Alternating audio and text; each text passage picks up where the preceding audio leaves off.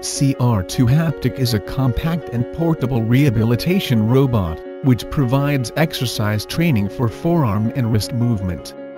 The robot will provide assistance to assist the movement, when it is needed and resistance to strengthen the muscle, when users start to improve. The device can be used by elderly people, stroke survivors, and others who need rehabilitation training or exercises for the hand.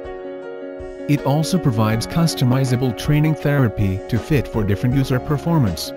The robot encourage and motivate the user to perform more training by providing various engaging virtual reality games for them to play while training their hand. The compact design of the robot provides optional modular units that can be used to train for different functional movement in limited space to fit for various users.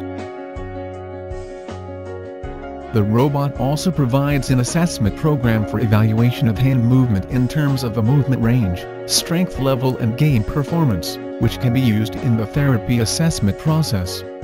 The assessment result will be recorded in a report, enabling users to review their progress over time.